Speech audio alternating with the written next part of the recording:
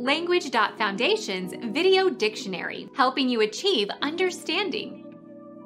The chemistry of compounds that do not contain hydrocarbon radicals.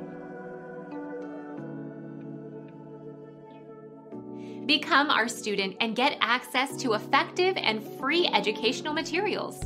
Subscribe to our channel to become a part of our growing community and to learn English effectively.